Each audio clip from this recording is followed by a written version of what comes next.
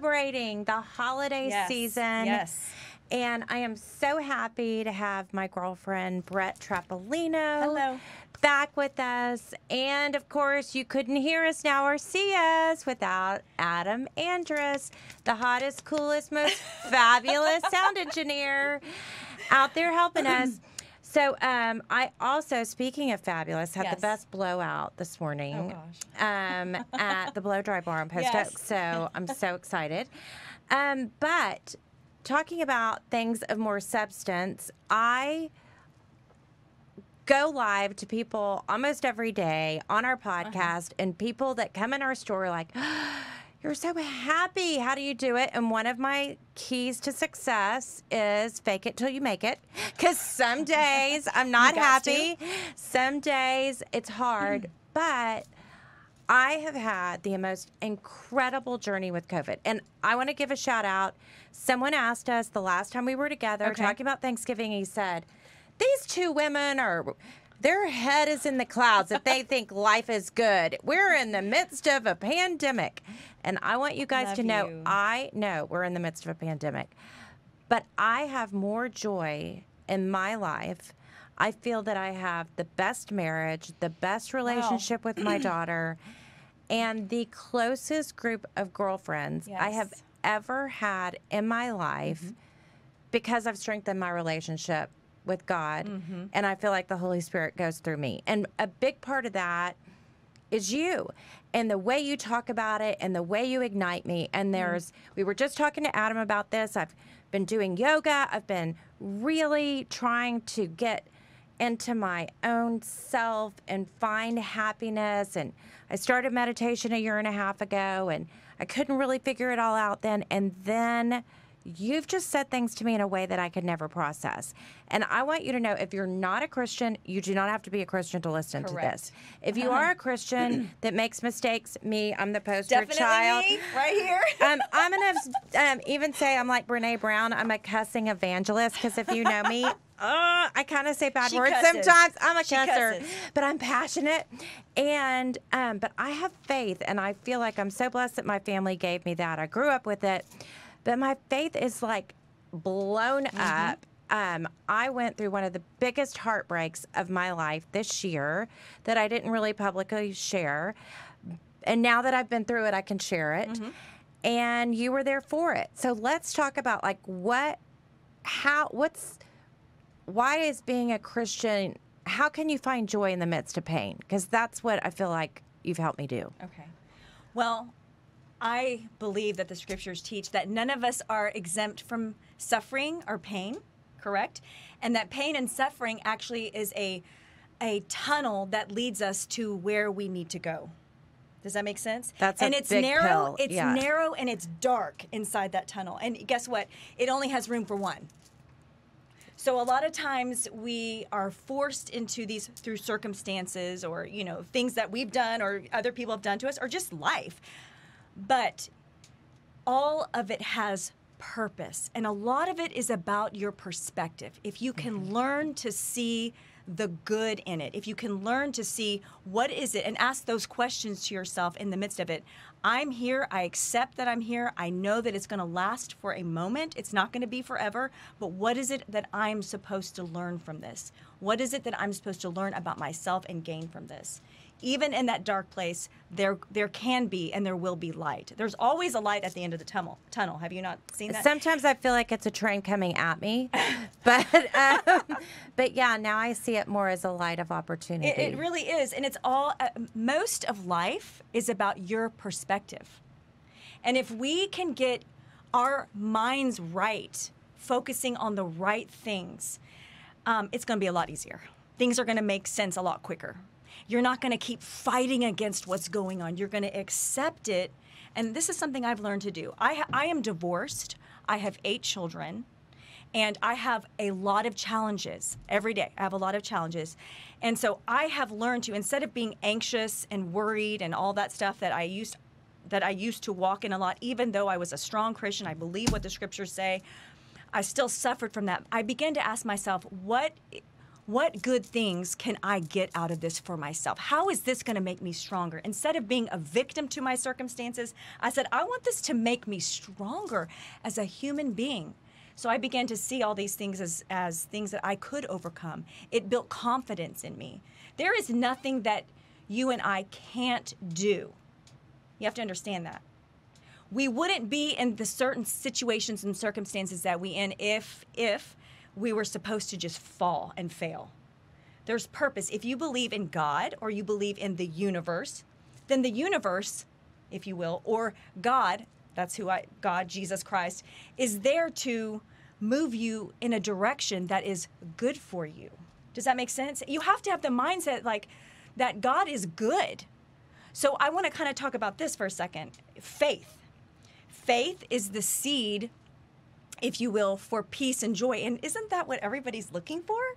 Yes. You can't buy that. You can't. You can't buy peace and joy. Happiness, the distinction, okay, happiness is a great thing. We get happy when we go to a party and all that stuff. When we buy a Birkin, go- a Chanel bag, that makes me When we go happy. shop- right. You get when my house gets clean, I'm I feel happy. But happiness is temporary, right? It Mm-hmm. comes and it goes and it can be taken away like that, right? Joy is a state of being. Peace is a state of being. That's why we want you to have peace of mind. Peace and joy are something that is given to you and it can it can grow as you continue to pursue your faith. I really do believe that. So what is faith? What is faith? Well, Brene Brown says Go ahead. that she said, I thought faith would say, I'll take away the pain and discomfort. But when it ended up saying, I'll sit with you in it. And I think that's what so many people think. Well, I'm a good person. I'm doing the right thing. Why am I going through this hard thing? Mm-hmm. Why me? And we have this pity party. I mm-hmm. have had plenty of pity parties, guys.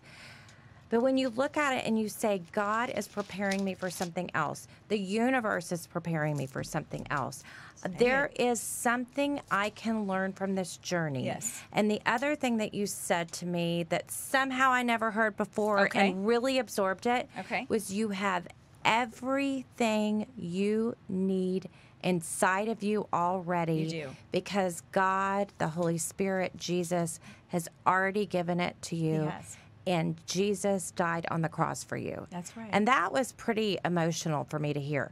Wow, I have it in me. I could do this. Yes. I, I can really do this because Yes. some days we feel like we can't keep doing it. Oh, absolutely. There's illness, there's loss of finances, there's um, broken relationships. There's so many things in our world that hurt.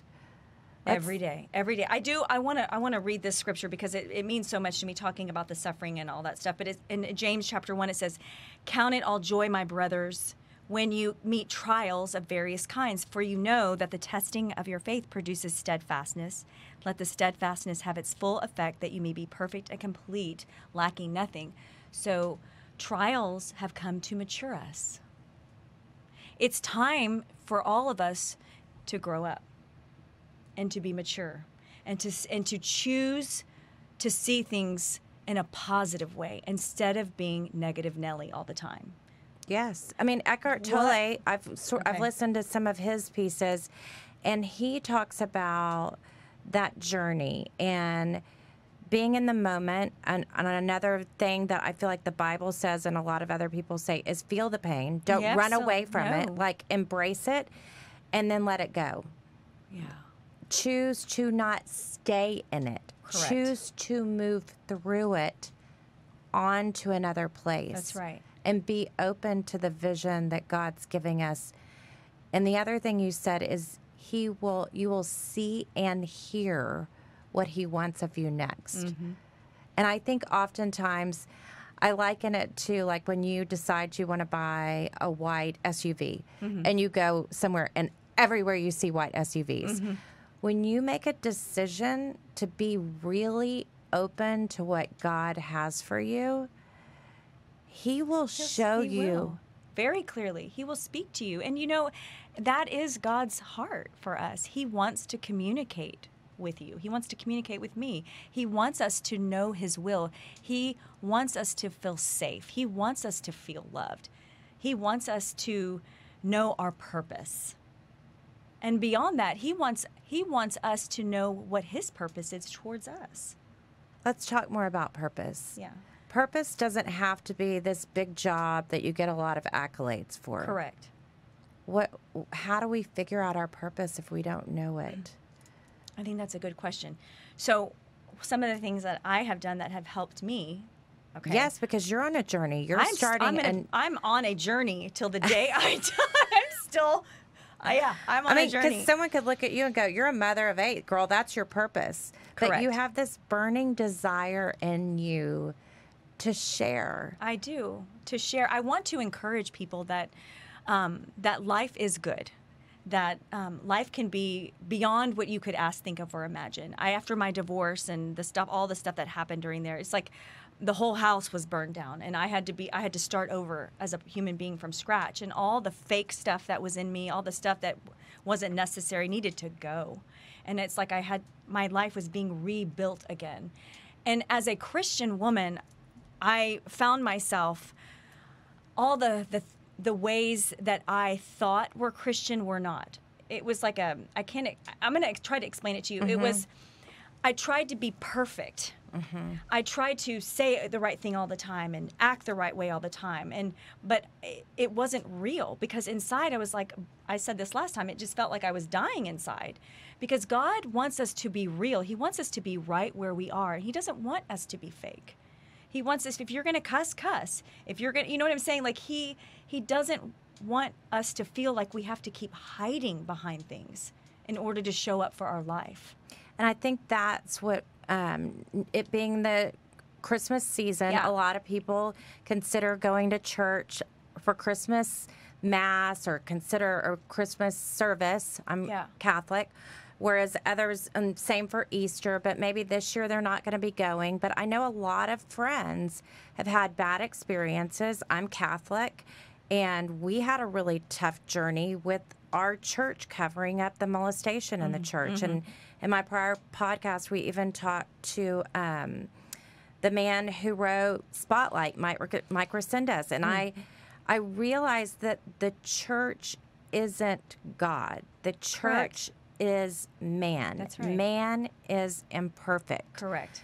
The laws of the church are also derived from the Word of God, but they're not the Word of God. Correct. So let's talk about how you could have faith but not be connected to a church. Yeah, well, I think I, I think we were created to live in community. So I think it's important for you to find people um, that you're like-minded with and like-hearted with, that you connect with, that you can really be vulnerable vulnerable with and share your life with.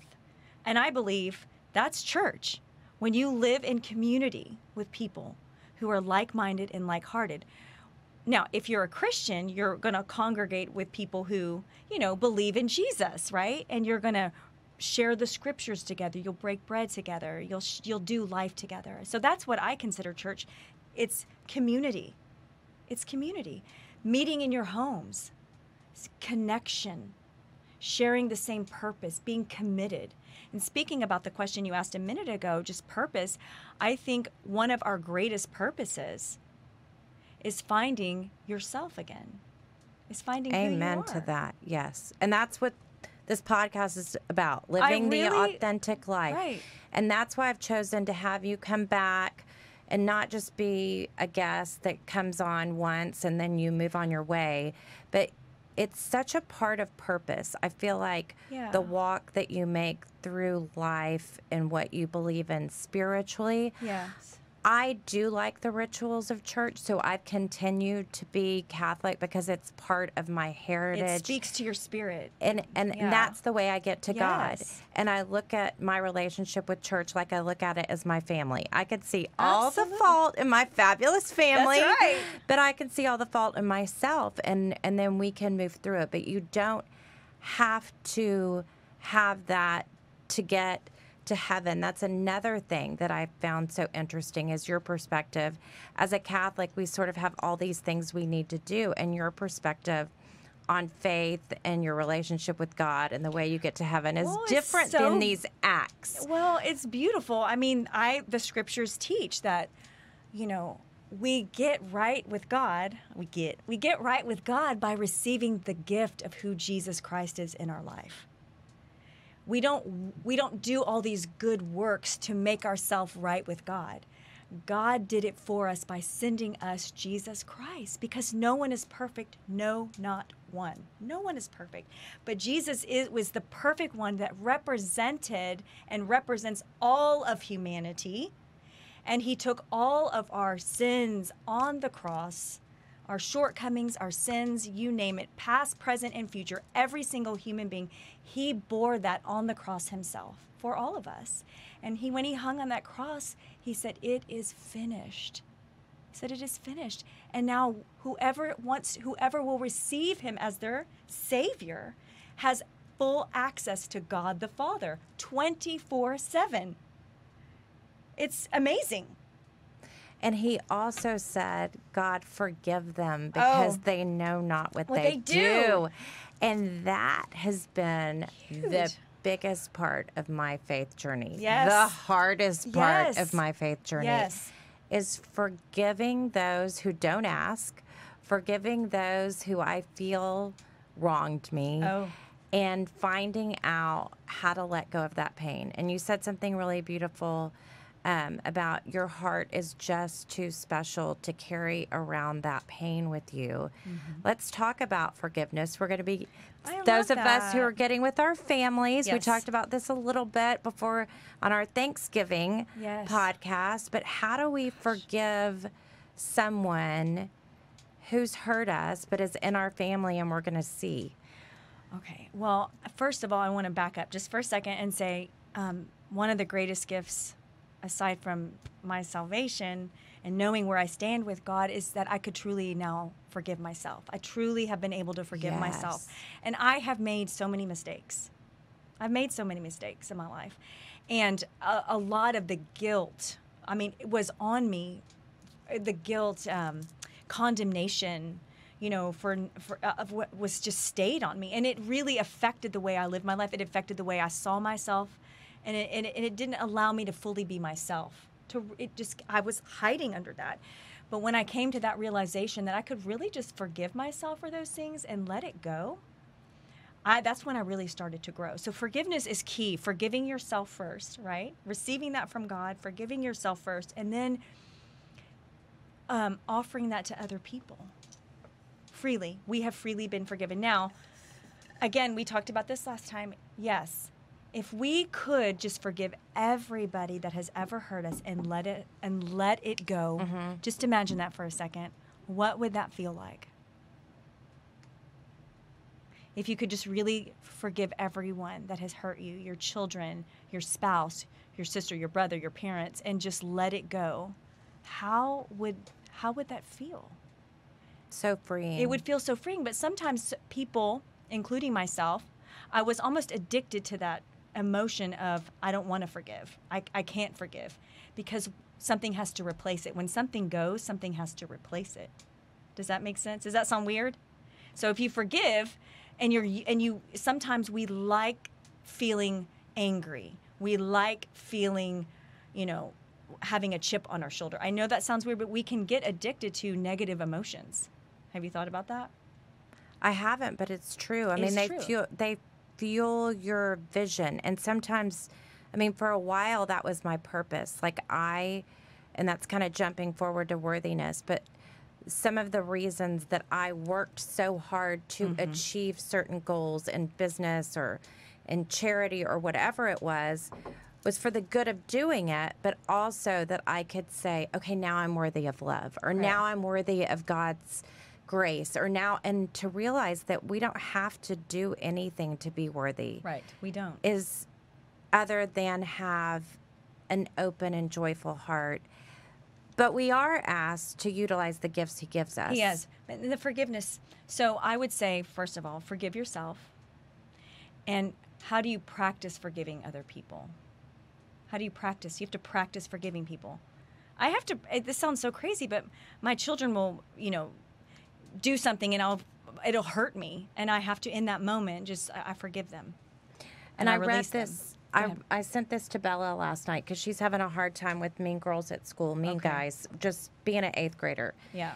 And it's about forgiveness. And it says, I choose to forgive, not because you deserve it or have stopped what caused the hurt. I forgive you for myself. I choose to move on and accept who you are. However, that does not mean I forfeit the pain caused or ever let it happen again. Mm-hmm. Because there are people who don't forgive someone because they were abused or it's not Yeah. healthy. And God does not want you to be in unhealthy situations. And I was so blessed that when I was married before and when I went to meet with a priest to talk about my marriage, he suggested that it was not of God. And then the second priest I met with told me the same thing. So I was very blessed to have that forgiveness from someone in authority, but we don't always all get that in our Abs- journey. So we have to forgive ourselves Absolutely. and then also the person who wronged us. Absolutely. And the thing is, if you're in an unha- if you're in an unhealthy relationship or an abusive situation, you can forgive the person, but you need to remove yourself from the situation. Absolutely. That doesn't mean you don't forgive them. You need to just g- protect yourself. That's, And there's that's a what- big difference. And you've talked a little bit about that, or a lot about that with me, but maybe we can mention it. There's a difference between judgment and discernment. So we're not condemning those who hurt us, No. but we're discerning that that behavior is not acceptable, Acceptable. And we don't repeat it ourselves in other situations. and we don't tolerate it. And that's part of, you know, loving yourself. Is saying no to things that are not good for you. Is saying no to things that are hurtful. It's boundaries. It's saying no. And then another thing you recommended in our Bible study Uh-huh. this week, which is so hard for me. Okay. And Nadine, if she's lis- I think she's listening. Oh. We discussed this, is to bite our tongue when someone says something that we know is wrong.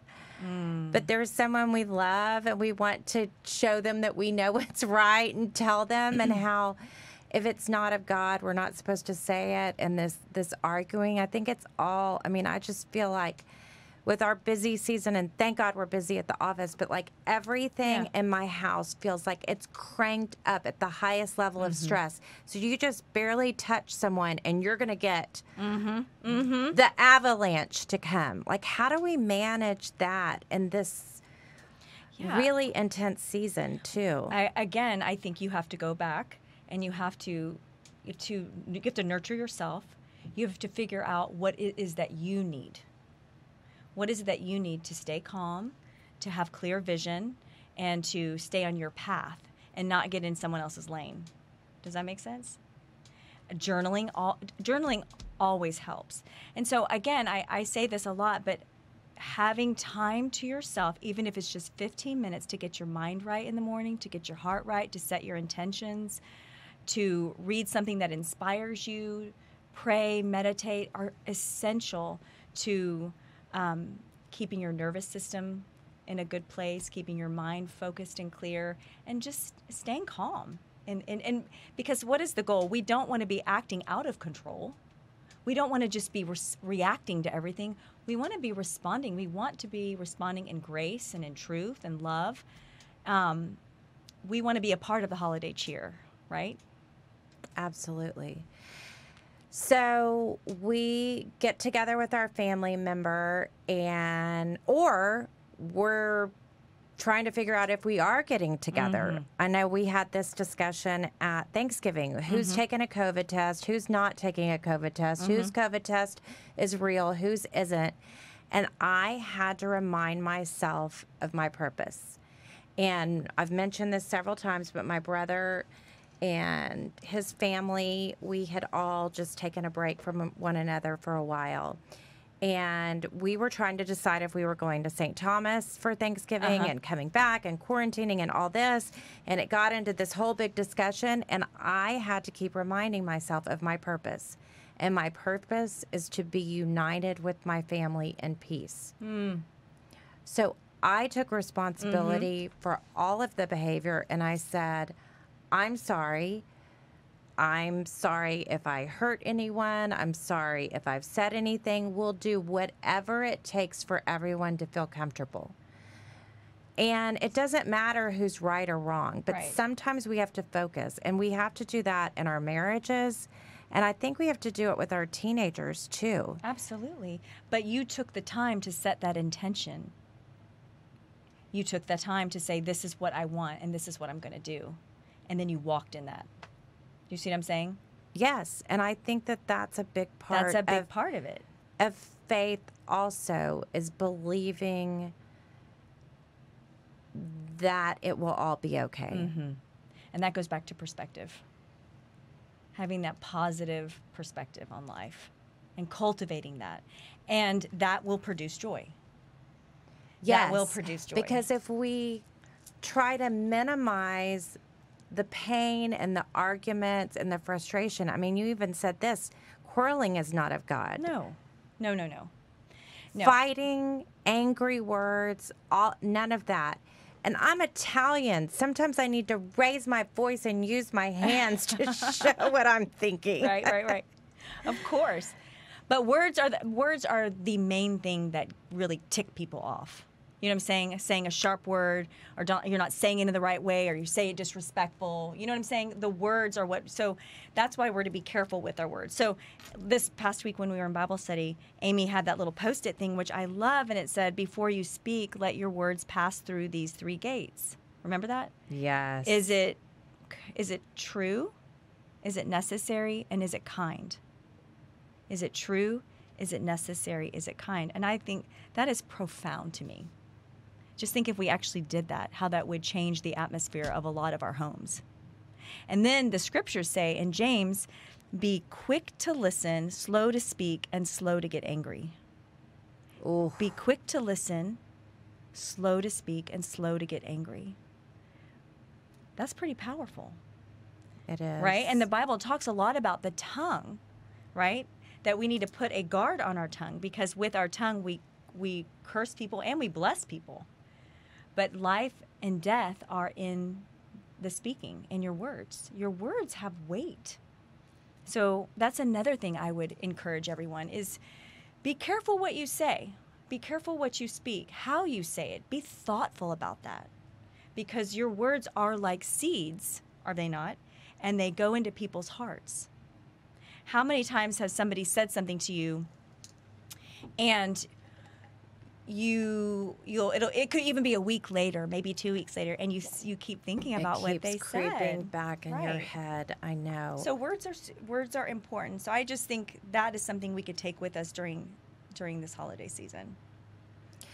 Okay, so Mm-hmm. you were saying it's such a beautiful day. Look around, there's so much beauty. And Mm-hmm. I said it's such an interesting perspective because so many people I talk to say everything's falling apart. The world is sick and the pandemic and the division over politics and so many different things. So how do you how are you an educated person Yeah. that can say the world is beautiful? Like how do we get that every morning when we wake up? Mm-hmm. What do you Well, my mind is set also on things above, not just on this earth, right? So I know my mind is set on what is coming. So I have that perspective too. So when I see what's going on in the world, yes, it's painful. Yes, it's bad. Some of it's bad. Yes, it's scary. Yes, it's that. These are things that are out of my control, right? There, a lot of this is out of our control mm-hmm. the one thing that you can control is your own life. You can't control what's going on in Washington. You can't control what's going on in, you know, Florida. You can't control these things, but you can control your life. And just think of it if everybody just focused on making their life so beautiful and cultivating a perspective of hope and gratitude and joy and love, that's what changes the world. Is one person at a time like that. Does that make sense? Completely and I I also go back to the serenity prayer of God do you remember it? I can't Yeah, remember the like, detail of it. Help me help me know the- the difference between the um or God help me um, Here, let me look it up. Keep talking. um, understand what I can that change and what I can't, so I can accept the journey that I'm going through. Yes. And I think that that's such a big part because sometimes we get so focused on something. Like there's that other saying where um, sometimes you realize you you are knocking your head against a door and you've just got to go around it and go to something else because you're never going to open it. I think that we just get stuck in our ways sometimes. Well, exactly. But you can. You need. To, we need to choose joy. We need to choose. Think about the kind of person that you want to be. You just think about it. If you write it down, what kind of what kind of characteristics, what kind of traits, you know what I'm saying? Mm-hmm. And the first thing on my list, I want to be a positive person. I want to be a thoughtful person. I want to be an intelligent person. Okay? Why is seeing the world in a positive light good for you good for your even your physical well-being? Why? Because there's certain chemicals that go off when you are positive that create the good stuff in your body Mm-hmm. that help keep you from, you know, an, a low immune system. There's a whole bunch of things that happen when you choose to see things differently in a positive light. No, abortion is bad. It's wrong. Murder is wrong. The the pandemic is this is hard for everybody. But all you can control is your own life. Make your life the best life. Make it what you want it to be. Be the person that you always dreamed of. We are we are capable of change. That's the beauty of it. We don't have to stay the same way. That's why it's hard for me when I hear people say, "Oh, that person will never change." Well, guess what? You can change if you want to change. That's exciting to me. You don't have to stay the same way. So the serenity prayer is this. You ready? Mm-hmm. Um, it's God grant me the serenity to accept the things I cannot change, the courage to change the, the things I can, and the wisdom to know the difference. And the wisdom to know the difference. That's Because pretty there is cool, so much to wisdom. right? Uh, let's talk a little bit too about worthiness because Yeah. that's something um, as a mother of a 13 year old you've been working with bella and you've been helping her understand worthiness and i'm reading um, a book uh, now i can't remember the name of it. They recommended it in bible study about um, it's help Oh, it's yeah, yeah, yeah. your mom um, call. Ah, i keep having brain figure- farts but i will figure it out. But um, Brene Brown says regarding worthiness, you either walk into your story and own your truth, or you live outside of your story, hustling for your worthiness. And I, I certainly, I love the fact that I can hustle in business, but I feel like I was almost on this hamster wheel trying to get worthiness from everyone around me. And I feel like COVID knocked me off the wheel. Mm-hmm. And I kind of had to like figure out my bearings of what I was doing. And I think so many people are kind of in that place now like, okay, well, I used to be able to reconnect with friends. I used to be able to travel. I used to be able to do this. Like, what can I do to fill all that? Mm. And thankfully, I was connected to this group of women that we could work together to learn so much about what's there. And then I realized what I loved about traveling was taking time hmm. For yourself. for myself and being with my family, relaxing, or having long dinners with friends. And I thought, well, why can't I take those moments and mm. incorporate them into my life mm-hmm. now? Mm-hmm. And I think because it's a new year, if we look at sort of our vision of what we want, our vision of what we want in life. Mm-hmm. We were talking about this with um, Anshal Bhatti of the Sydenham Clinic. I see this in our walk with Christ too, our walk with God too. If we, He wants us to achieve. It is, and He I, I've does. also learned recently it's okay to pray for success, Success. or wisdom or mm-hmm. knowledge or Yes. understanding. Absolutely. Let's talk a little bit about that, that we can turn to God for meaning. Oh, absolutely. I think he he's the one that gives us meaning, right?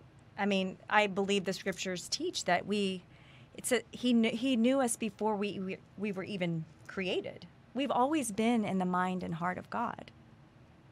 We've always been in his mind and his heart. And so he has great purpose. And I think if we can, if we can tap into those deeper truths, then we're going to begin to s- derive our worthiness from that. Mm-hmm. And our worthiness doesn't come from what we do.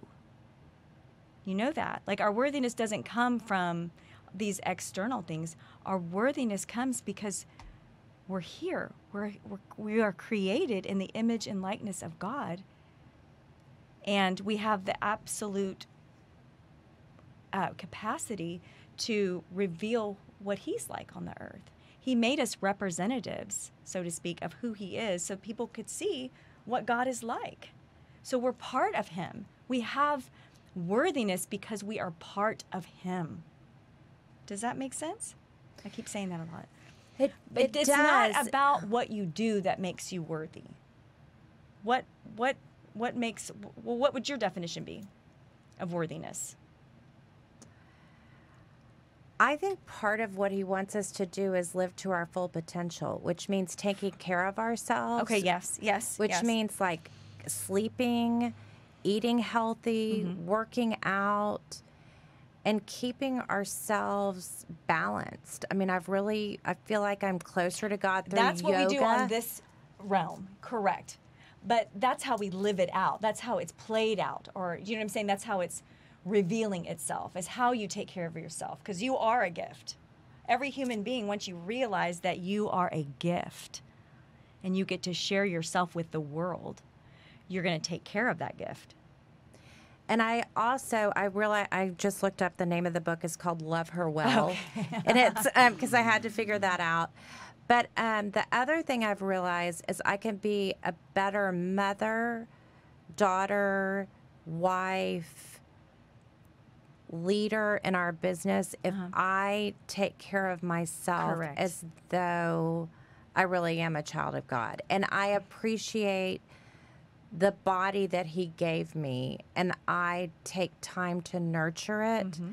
and to feed it with positive, healthy people in my life. That's right. That's key. That's why I talked about earlier community. P- choose wisely the people that you want in your life because, you know, as you commune together, you get wired together, right? You pick up on different traits of one another. So surround yourself with positive, great people. Not perfect, but positive people. They don't have to think like you, you know, per se. They don't have to think like you or look like you or any of that. But surround yourself with people who do feed your soul. And I have been doing researching so much on my TED Talk that um, uh, on connection. Okay, and yeah. my what I've really come to realize is that connection is seeing and hearing people where they are without judgment. Mm. Say So- that again. Say that again. seeing and hearing people where they are without judgment. We can have discernment. We can say that their choices are different than us. And we can have different disagreements. yes, but we see and hear them Yes. without judgment. And I guess that's why I feel so connected to God now as growing up Catholic, I just felt like I was being judged by God constantly. I Mm. felt like I Mm-hmm. wasn't worthy of him.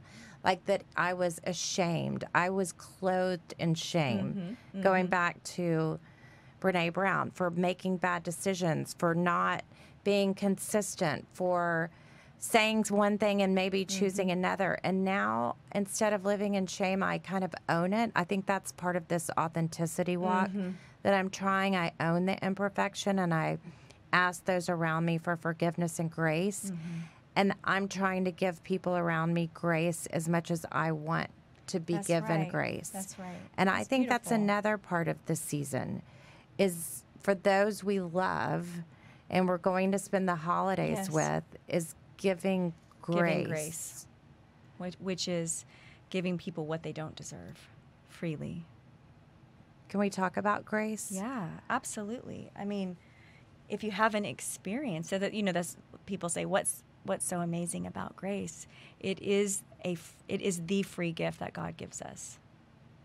He takes your stuff and he gives you his stuff forgiveness, mercy, love, acceptance. He takes your sin, he takes your shame, he takes your guilt. He wants it. He's like, give it to me.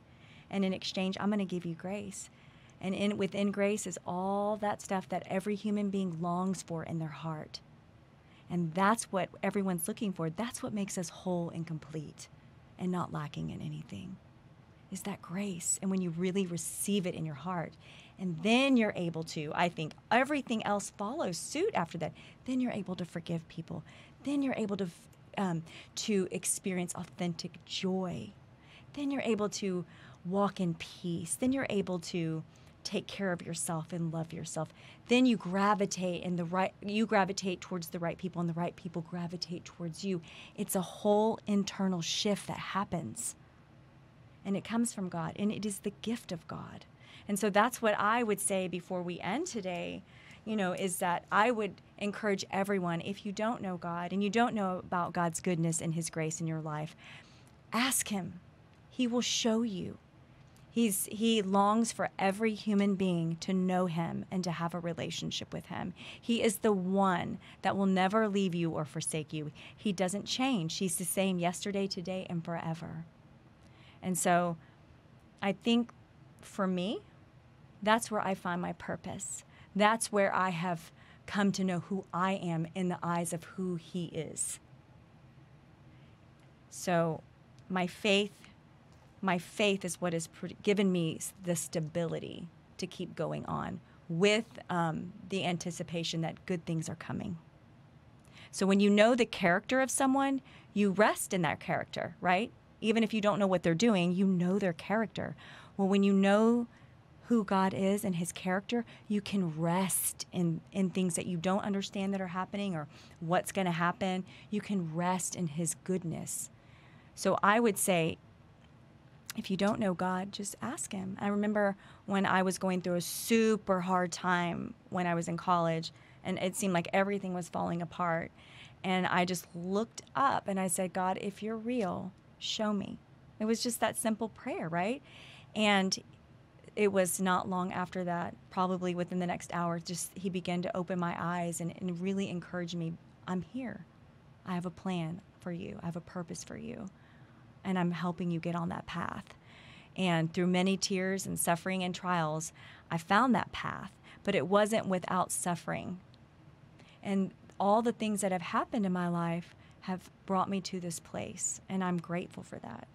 And just remember, life is short. The scriptures say it's just but a breath. You don't know what's going to happen tomorrow, right? All we have is today. So make today good. Remember, all you can control is your life. You can't control anyone else, what's going on in the world, but you can control your life and you can choose today to make your life great. And, and, and, and it starts with, with finding out who you are, learning to love yourself, and, and then that way you'll be able to love other people well right? So joy, the acronym joy, everybody, you know, it's Jesus, others, you. Is that right? Jesus, other, you. But I'm kind of seeing it as it's Jesus, take care of yourself, and then you can really love other people. I've walked in that, exhausting myself, always trying to take care of other people, always trying to make sure. But then God began to show me you're missing, you're missing something. How can you love your neighbor as you love yourself if you don't even love yourself? Jesus said that. So I began to say, okay, I need to pull back, put some boundaries up for a while, and really learn to love myself and know myself, know my own heart, know my own desires.